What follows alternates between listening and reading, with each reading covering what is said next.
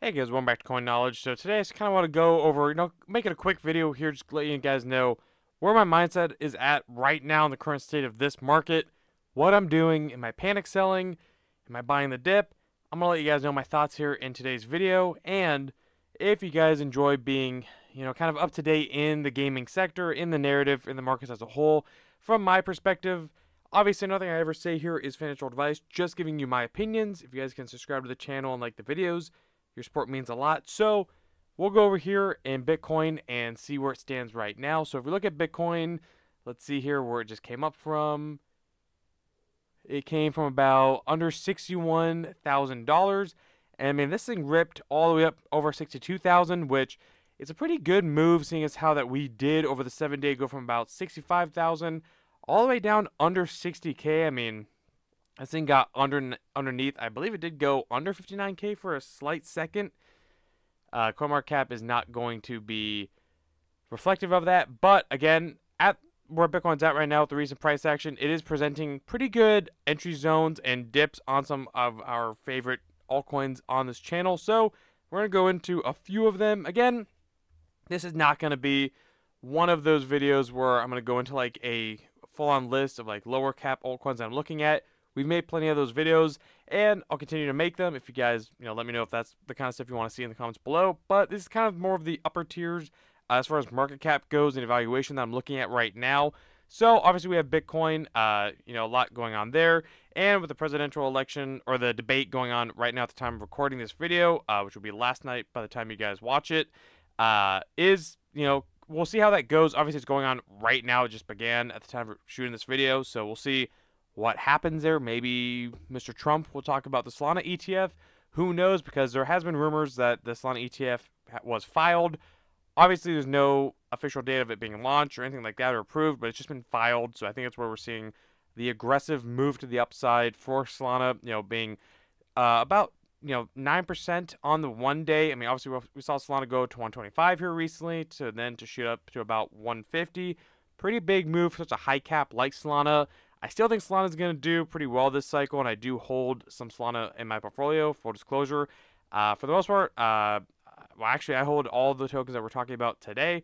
Uh, the next one is Avalanche. Again, Avalanche to me, I think is still going to be the gaming blockchain of the cycle. When we're looking at overall layer ones, obviously you have your Immutable X's, your Ronins, uh, you know, stuff like that. But I think overall layer ones, not just gaming specific, L1s or blockchains, I think Avalanche still has, you know, the quality games there in their ecosystem with their subnets.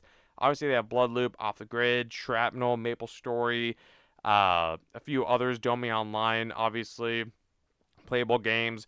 The list goes on and on. Gunzilla, uh, you know, with their guns subnet and their guns token later this year, which hopefully is going to be a big catalyst for gaming, uh, but only time will tell. But I think at this evaluation at $27, if you look over the one year here, we saw uh, Avalanche go up to $60. I mean, we haven't seen these prices since before the major Avalanche uh, run up. So I think, you know, uh, on anything under $30, I think Avalanche is, to me, going to be a, you know, $200 uh, token this bull run. Uh, I, I think so for sure, seeing as how it was 135 last time. And I think that they have so much more room to run this time. If we look at market caps, I mean, it damn near got to where it – did last time uh, just here recently, and I do think Avalanche does have room to make it to you know that 60 to 100 billion dollar market cap this cycle. So to me, Avalanche, I think you know my bullish uh, price prediction, which I don't usually like to do, would be like hundred dollars at the very absolute peak. Uh, I think Avalanche is should be a quote unquote safe, um, more of like an anchor in anyone's portfolio. I would think so. If you're looking for something a little bit lower lower uh, in market cap than something like a Bitcoin, Solana, Ethereum. Avalanche is where I'd be going to. Next, we have Ronin. I think this Ronin dip, and I've, I've said it in multiple of these videos here recently, I think the Ronin dip cannot be ignored. The fact that Ronin, you know, we were looking at it throughout the bear market as we were looking at a lot of the fa- our favorite altcoins here. But I mean, the last time Ronin was at around $2 was the beginning of this year. And, you know, we saw Ronin climb up to about four dollars and fifty cents. So that's about a fifty percent correction from its all-time highs. Literally about a fifty-two percent. I was four fifty exactly all-time highs. So You know, Ronin to me is a bargain right now, especially look over the one month, it's down over 31%. Uh, over the seven days, seems to be bouncing a little bit. Obviously, it could keep going down, you know, going beneath $2. I wouldn't be surprised if it goes beneath, and I also wouldn't be surprised if we never see uh, under $2 again. Uh, but this cycle, at least, uh, you know, overall. But I think with the activity that they have on their chain, the game or the user count, the daily active wallets, the quality games that they have on their blockchain already, the fact they're moving to open source, inviting everyone to whoever uh, wants to build on their chain is going to be huge for Ronin. And I definitely think Ronin, to me, shouldn't have a problem getting to where IMX Immutable X is right now. And we know Immutable X is multiple billion dollars in market cap. So even if this did like a 5x, I mean, that'd be what, like a three million, three and a half million dollar or billion dollar market cap. I don't think it's crazy for Ronin. Again, I see Ronin, you know, getting to those 10 $20 ranges this cycle. Uh, but again, that's just me though. Let me know in the comments below if you guys obviously agree or disagree with any of these stances or statements or predictions for any of these altcoins, or if you're bearish or bullish. Let me know in the comments. I love talking to you guys, uh, but just give me some reasons at least. Don't just say Ronin's going to zero. That's it. Give me some reasons or backing it up or facts. That's how we have a conversation. But uh, I digress. So Ronin's another one I'm looking at. Seedify Fun, you know, I think Seedify, they just put out an update on their Twitter. You can go find it. I mean, they're changing. It seems like they have like this AI jam thing uh, update they're talking about. Maybe uh, vesting, a little bit doing more of like a vesting uh, progress or process on the new projects that they're going to be launching on their platform as far as like AI projects go. Uh, because obviously we've seen a lot of projects come out with a high fully diluted market cap and not a whole lot of tokens in and uh, dilute or in circulation. So you have this high, already highly uh, over really overvalued, evaluated uh, project, and then you have a terrible vesting schedule obviously that's not going to make a lot of investors want to hop on that project. So they are going to see about tweaking that a little bit because Seedify as a launch pad, they want people to be excited about new TGEs and new altcoins swinging through the door. And if that excitement goes away, that hurts Seedify and hurts Launchpad. So it makes sense if they want to help curb that uh, that downward trends that people have had on new launches here recently. Uh, and again, at these levels, Seedify is pretty cheap at these levels. Honestly, I mean, again, the last time it was at like a dollar sixty was the end of last year, and then Seedify ran all the way up to five and a half dollars. I think Seedify under a hundred million dollar market cap, or even right at the fact that it got up to three hundred and thirty million uh, here recently over the last year, and it got up to again the same market cap last cycle. I think Seedify definitely has it in it to get to half a billion, one billion dollar market cap circulating uh, this time around if people get excited about new launches and new TGEs, new altcoins pre-sales again, which I think they will. I mean, regardless of the vesting schedule, most of the money, most of the time at least, you can obviously have bad launches, but in a full-blown bull market, a lot of launches are usually, uh, you know, give you high returns typically. Uh, but obviously, there's vesting schedules and there's cliffs that goes into all of it. Sometimes we're better off, better off buying it on the open market, but these are kind of things that Seedify is hoping to maybe fix, it sounds like. So I think Seedify, for what they're building out, and obviously they're the number one gaming launch pad in the space, and now they're launching, uh, obviously, RWA projects, AI projects, not just gaming, really. So they're kind of broadening that a little bit. Hopefully they don't start launching too many projects, and that's weird to say, but hopefully they don't over dilute themselves, uh, which kind of feel like it was maybe happening for a second there. But again, that could be what they're going into about maybe generating that excitement and hype again. But I think Seedify definitely is one that is undervalued. I don't think a whole lot of people are talking about on its dip right now. So Seedify is another one I'm looking at holding. And again, you can either hold this for maybe the increase in price throughout the bull market, or if you're actually holding it to stake into the different allocation rounds, then this could be a decent level for you if you've been waiting for one to get into those entry or those pre-sales. But you do you. Uh, next one is Karrat. I say this every single time. It really is like beating a dead horse at this point, but I just want it to be known and stated every time that I'm screaming at the top of my lungs right now that Karrat is undervalued because I'm I really do think that Karrat is going to do some crazy numbers this cycle. Uh, and we've seen, you know, Karrat over the seven days, we, we've seen it come from 88 cents uh, down to 69 cents, then back up to 82 cents, then back down to 70 cents, then back up to 78, and then back down to 69 cents here recently. I think it's showing some kind of support level around the 70 cent range right now. So I think anything, I mean, I've been saying anything under a dollar, under a $100 million market cap for Karrat long term is a value buy. I mean, they don't have any unlocks, I think, until October. Uh, and then even past that, they have a, a, pretty good vesting schedule for the most part uh, between now and the end of 2025, which is where I'm roughly looking for a potential market top. Obviously, nobody knows this could be a prolonged cycle. This could end earlier. Nobody knows, so please don't take that as gospel.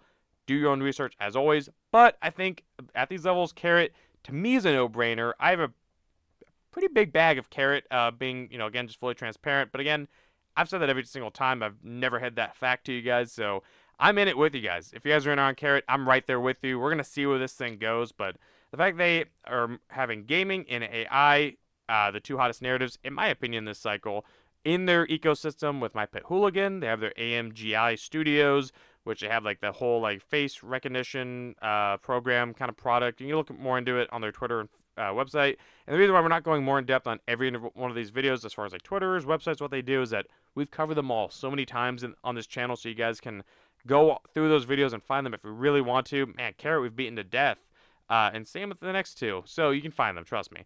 Again, this video is mainly just updating you guys what I'm doing, but Karrat, at a 72 uh, cent range, even a $75 million market cap, to me, I'm still DCAing, and if you were in the Discord or if you were, again, on this channel watching the videos, you would know that I was screaming about getting Karrat around the 45 cent range. Obviously, I think my average buy is around 57, maybe to 60 cents right now, but uh, that's where I did a majority of my buying for the most part. But I was buying pretty heavily still around the 50 cent range. I bought a little bit at the 45 cent range, thinking it would maybe go lower, but obviously you can never call those things. But uh, I did buy a lot down here, and then I also bought a lot at 50 cents. But again, I think my average is more like mid 50s personally. But again, I'm just trying to be transparent with you guys. But uh, I don't know exactly. All I know is that Karrat is undervalued, and that's all I care about right now. Uh, I think long term Karrat, Again, I've said it before. I think a billion dollars is, uh, to me, gonna happen, but I don't have a crystal ball, and uh, it could go to zero. I don't think it will, but it could go to zero. I mean, that's what you hear in crypto, and that's true. Everything could, but who knows? But I don't know. We spent a lot of time on Karrat. I'm bullish. That's what you got to know, and it's a good time, I think. Uh, going to Myria. Myria, again, Gala Games killer of this cycle. That's my stance, always has been, and it is remaining to be that uh, as such. Uh, the fact that Myria got to a penny or a cent and a half uh, here at the end of 2023, now it's at, you know, uh, 0.0037. I mean, if you look at it, it's 80% down from its previous all-time highs of actually a penny in, uh, you know, 0.018, uh, a penny in eight. Well, I don't know, 0.0, 0.018, however you would say that, uh, penny in 800th, I guess. But at a 72, $72 million market cap, I think Myria definitely has, in my opinion, what it takes to potentially pull a Gala Games from the last cycle, 2021. And we know that Gala Games got to a $5 billion circulating market cap. I don't see why Myria couldn't at very least do half of that, which from here would be somewhere along like a 30x roughly from here if we got to even half of what Gala Games did last cycle. They have the influencers behind them. Uh, they have the product behind them. They have their Meta Rush game, I think, coming out here soon officially. They have so many games in their ecosystem. They have their Ethereum L2. They have a big cricket game. Website looks clean. They've been out for a while. Their vesting or their dilution is only about a 2x between now and the end of 2025, which is pretty good considering that so many gaming projects, especially newer launches, newer TGEs going into their first cycle, terrible vesting schedule. I mean, some of the, some of these things have like 10 to 15x in dilution between now and the end of 2025, and Myria does not have that problem since a lot of the vesting and dilution actually occurred throughout the bear market. So another reason to be bullish on Myria, in my opinion. I think Myria again undervalued at these levels, hands down. Now, base again, we're not going to be going into lower market caps. I was trying to stay above like 50 million for the most part for this video and just kind of touch on a couple that I'm really eyeing right now uh, at these you know different evaluations here. But Heroes of Mavia. I think if you're bullish on base as an ecosystem and as a blockchain this cycle, which I am, I think base is going to have a whole narrative especially when their token comes out and wherever the airdrop you know tends to be. We've seen stuff like zk uh, zk sync era, their airdrop kind of fumbled. I mean, I think people just really set their expectations higher than what they ended up getting. Uh, we've seen other you know blockchains come out, like Blast just came out yesterday, I believe, and people got an airdrop. But I think again, kind of a zk sync uh, kind of dilemma there, but. I also I think people just being degens in crypto, expecting to get way more free money, but complain when they still get free money anyways. Crypto's a weird place. But either way, I think when Base does launch their, their token, which I think should be towards the end of this year, I you know I, have heard that, but obviously I don't know for sure. Let me know if you do. Uh, but I think that there could be a whole liquidity injection of airdrops and the base ecosystem. We've seen base meme coins go really, really hot here recently. So I think anything building on base, I think people building on base right now could be essentially people building on Solana last cycle, if that makes sense, or Polygon or Avalanche. I think base is going to be the new hit kit on the block this cycle for sure. So the fact that Heroes of Mavia is a base game, they chose base as, as their uh, blockchain, uh, I believe, earlier this year caught a lot of people off guard, but it actually made a huge amount of sense, in my opinion, when you have stuff like Echelon Prime building on base. There's a few other games too, like Compete and a few others, but uh, Heroes of is definitely one that I'm the most bullish on on base personally because I'm bullish on mobile gaming. They have the users for sure, the players. I mean, this thing hit like a million downloads within its first initial weekend, within 72 hours. Pretty insane. They also did an airdrop when they came out. Wasn't a lot, but it generated a lot of hype. And the game's solid. I mean, you can play the game. You can download Heroes of Mavia on the Google Play Store, Apple Store. You can play the game for free, and they actually have a potential earning mechanism going on right now. I haven't hopped in it into it in uh since the new Phase Two came out. Personally, admittedly, I've been trying to find the time to do it, but life, you know, life happens. But uh, but I do want to get in there and start playing again. I know I stacked up my rubies for quite a while, so I want to see what I can do there. And they're introducing integrations with the Mavia token and the whole, you know, Ruby swap to Mavia. We did a whole video on it. If you want to, if you're curious about Heroes of Mavia and what they have going on in their ecosystem, you can find it on this channel. But uh, I think Heroes of Mavia again, if you're bullish on mobile gaming, and they have the they have the users for sure. There's no doubting that. And if we look at where they stand today, uh, again, this thing launched at around these prices on the open market, and then it went up to ten dollars. I think it launched around 25 cents or 25 million dollar market cap and then it shot to ten dollars, which was around a three hundred and fifty million dollar or three hundred million dollar market cap. And it's kind of just bled out a little bit as gaming's taken a seat on the back burner this year, you know, past memes, AI, RWAs. But I think gaming will, again, be a hot narrative this cycle. It's just being outshined by a couple other narratives right now. But at a $66 million market cap and a $1.80, I think Heroes of Mavia makes a lot of sense. That's my opinion, but I think it does make a lot of sense there. But we'll see, right? I mean, we'll we'll see what happens there. But either way, guys, as a recap, I'm looking at Heroes of Mavia uh, for a base mobile gaming play. Myria as a Gala Games, essentially, of this cycle, what Gala Games did in 2021. Karrat, I don't have to give you a whole lot of reasons why I'm bullish on Karrat. There's a lot of videos, but just know I'm insanely bullish on Karrat for what they're building with gaming and AI, and they have My Pet Hooligan, probably one of the most fun games in the space, I think, at least for the games that I kind of like. Then they have Seedify Fun, Top Gaming Launchpad, or just actually just a top launchpad at this point, not just gaming only. Ronin, undeniable that they have you know the metrics uh, as one of the top gaming chains, if not the top, uh, in my opinion, and still so undervalued. I don't see how Ronin is not similar to IMX right now as far as market cap goes, but hey, that just presents us with a good opportunity potentially. Uh, Avalanche, Solana, Bitcoin, I think are some you know again quote unquote safe staples to have or anchors in your portfolio. That's what I have a lot of is Solana and Avalanche in that category. But again, uh, nothing's really safe in crypto, especially in these times right now. But I think if you bought anything earlier in the year and you're down in your portfolio, just sit on your hands. I think the worst thing you can do right now is start shifting money from one project to another, trying to catch green candles and pumps, selling out of your losers, trying to catch a maybe short term winner. I think you're going to lose money that way, but hey, maybe you're a good trader. Uh, I know I'm not a great day trader, so I'm just holding sitting on my hands, not doing a whole lot. If anything, I'm just adding to my positions. I'm not selling anything right now. Uh, I think we're going to go much, much higher. And that's all that matters at the, end, at the end of the day is do you think we're going to go higher? If yes, sit on your hands. If no, then sell and move on with your life. I don't know what to tell you. But I think we're going to go, we're going to go much higher, definitely for sure. But we're all part of the ride now, so just stick with it. We'll see what happens. I'll keep you guys updated on what I'm what I'm doing, what I'm thinking in these markets. And if you guys want to join a community we can get in there, talk to others, and ask some questions, and get some you know thoughts and answers a little bit sooner than I can give like in a YouTube video. Either consider commenting on these videos, or you can join the free Discord linked below.